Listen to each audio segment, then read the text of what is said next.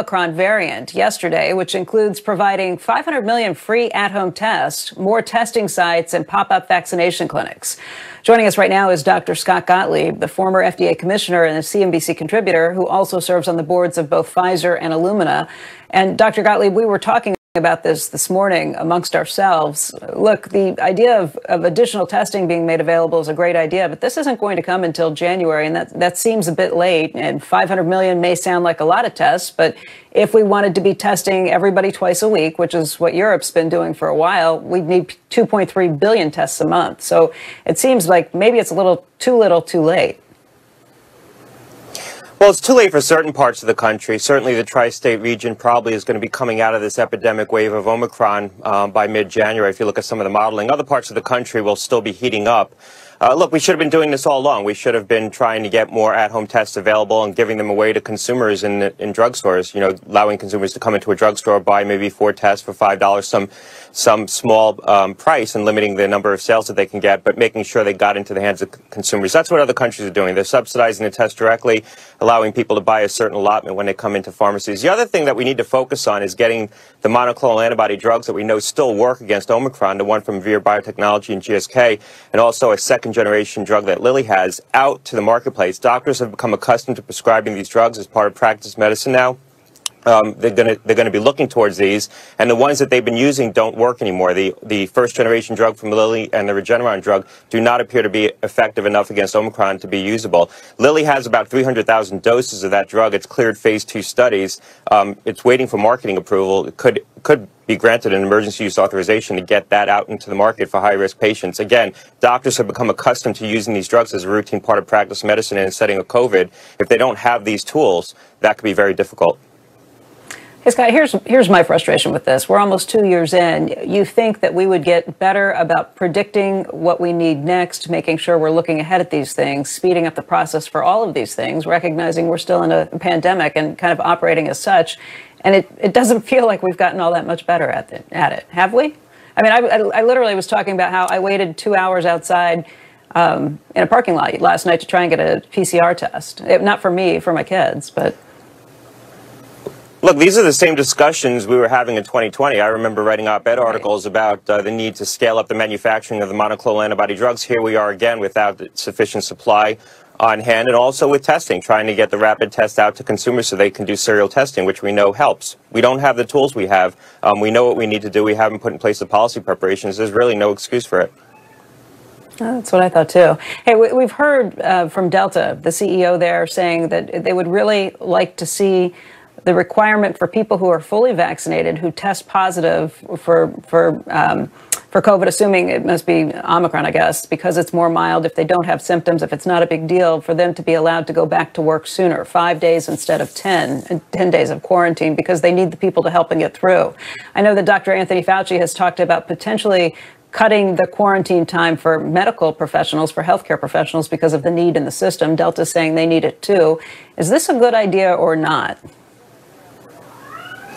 Yeah, look, a lot of doctors are already doing this in their routine clinical practice. If you're asymptomatic for five days after a diagnosis of an infection, especially if you test negative on an antigen test, and the antigen test shouldn't be used in a binary fashion to tell whether you're infectious or not, but coupled with the other elements, um, someone who mounted mild symptoms has resolved, is vaccinated. A lot of doctors are using five days as the period in which people can sort of re-enter work. Um, so I think it's I think it's a prudent thing to be looking at, especially for the healthcare system. But if you're going to apply it to medical workers, you should be looking at it across the board. Um, and this is in a setting of vaccinated individuals who we know typically resolve the infection sooner. My, my, guess is that means, one second, Andrew, let me just follow up real quickly. I'm sorry. Uh, my guess is that would mean, as they've suggested, that people have to be fully masked and wearing real masks if they're coming back in in an environment like that, right? Right now, no. Um, people are being um, told they can come back into an environment five days after the resolution of symptoms, people who are fully vaccinated, especially after they test negative on an antigen test. I know that that's going on uh, in, in the real world. That's the kind of advice some physicians are giving to patients right now. So if the federal government stepped in to do this and change the quarantine rules, look, some, some people can't do that because they're subject to these quarantine rules, but in settings where they have discretion, people have been doing that. So this would conform with what medical practice is veering towards. Hey, Scott, I have a couple questions. Uh, the first is uh, about a tweet that you sent out uh, just about an hour ago, uh, noting that there are uh, new COVID hospitalizations in London and New York uh, versus new cases, and what the big takeaway there is. I know we've thought that Omicron is supposed to be more mild. Is this the issue of just now how many people have it, so we're going to get a bigger number? Do we think that Del- this is Delta that's living alongside Omicron? What do we think is happening? Well, Delta is living alongside Omicron right now, and we we haven't teased out which of the hospitalizations are a result of Omicron versus Delta, and we ought to do that to get a better window on what the true morbidity is from Omicron right now. Now, that may shift in the future as Omicron perhaps starts to crowd out um, Delta. The other thing we need to look at is not just hospitalizations, but length of stay, how many people are hospitalized in total, in aggregate, and also ICU admissions, because that's really where the healthcare system starts to get pressed. So we need to watch that very closely. We've seen a, a, a small uptick in hospitalizations. It's not clear whether that's the result of the Delta surge that a lot of cities were having, including New York and London, or it's an early indicator of rising Omicron infections winding up in a hospital. The other thing I would say is that we have way more Omicron infection right now than we're measuring. So if you actually look at this on an estimate of what the true number of infections are relative to the cases that are ending up in the hospital, the fraction may end up being much smaller than past waves of infection because we're missing a lot of infections. A lot of infections are mild or subclinical. We now have evidence of that from South Africa. A lot of people are turning over a positive diagnosis on an antigen test, and if they don't feel really sick, they're not getting a PCR test to confirm it, so it's not getting captured by the system. So there's way more infection happening, particularly in the tri state region, than what we're measuring right now. And are you a believer that Omicron is crowding out Delta and that it effectively takes it over and effectively pushes it out for good or, or not? Yeah, look, Delta infections will probably start to go down, but the question is whether Omicron is truly crowding out Delta, meaning it's providing baseline immunity that's preventing people from getting a Delta infection, or Delta infections are going down because Delta, on the whole, is less contagious and people are taking more precautions in terms of their daily interactions. So that's going to be a very hard thing to tease apart. There is a, a thesis that Omicron won't crowd out Delta, that the two could co-circulate, and Omicron will sweep through. But on the back end of this, Delta will remain the more persistent pathogen. The question is which one's more innately transmissible? Is, is Omicron more innately transmissible in the Delta, or is it spreading more rapidly because it has immune evasion? And we don't really have a firm answer to that question yet. There's some preclinical data that suggests it's more innately transmissible, but that's not firm. And, and, Scott, the other question I wanted to ask you about is we've been talking a lot about testing this morning, the government uh, supporting testing, subsidizing testing. There's a question about therapeutics, and Pfizer, of course, which you're on the board of, has the single therapeutic, I think, at this point, uh, that people are most optimistic about. The United States only has on order 10 million doses of this. Should the U.S. government go to Pfizer and say, perhaps even using the Defense Production Act, we need you to make 150 million doses of this. We need to have this on, on offer, and we need to force you to do it, and we need to force you to do it at a lower price point. Well, Pfizer's committed to make 80 million doses next year. And just so you understand the situation, this is a protease inhibitor. The timeline to manufacture a single dose of a protease inhibitor is six to nine months. That's typical across the board. When you get the starting materials and you start manufacturing to the point at which you have a pill is at least six months to nine months with a protease inhibitor. You're not going to get it down much more than that.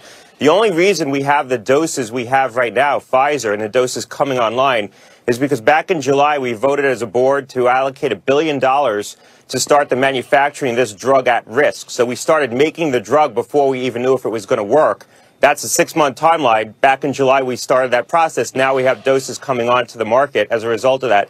So if you want to actually put more resources into the manufacture of this drug today, to get more doses, you're looking at at least six months until those doses will come off the production line. And Pfizer is substantially ramping up the uh, infrastructure to produce this drug.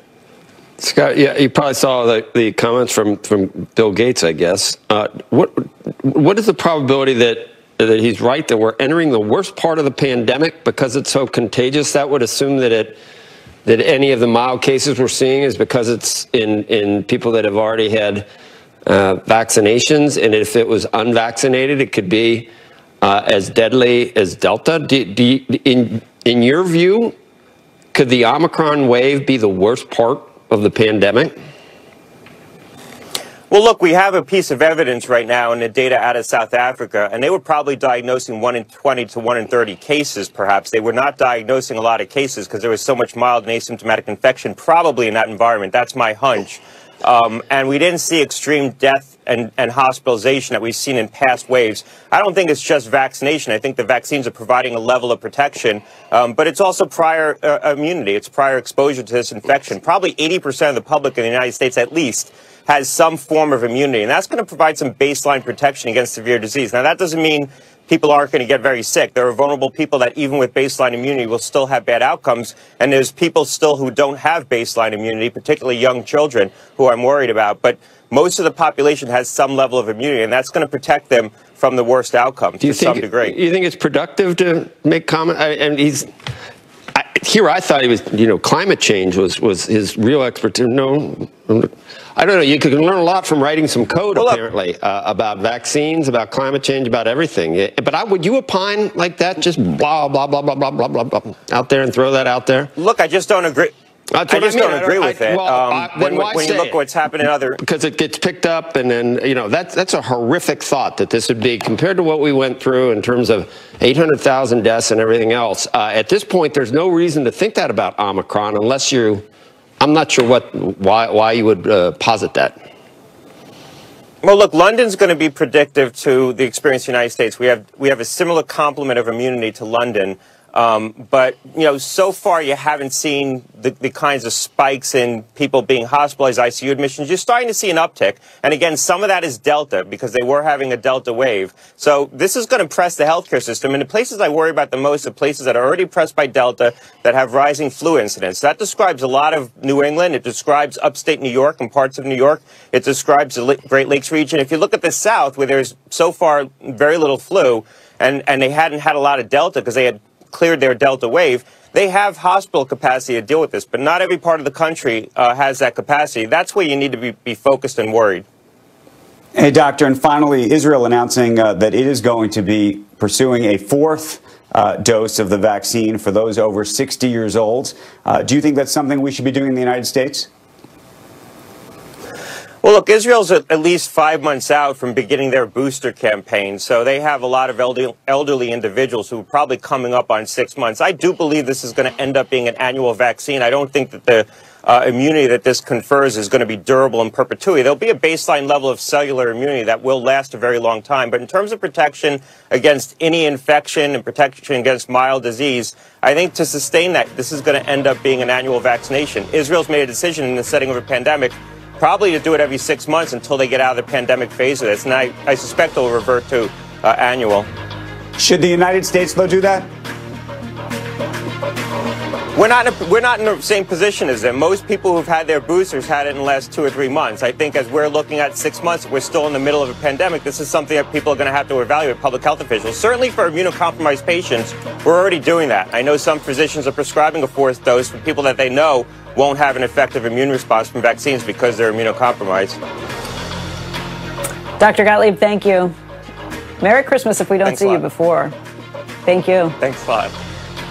When we come back, we're going to take a look at what's ahead in the for crypto in the coming year. Right now, though, as we head to a break, let's take a look at Black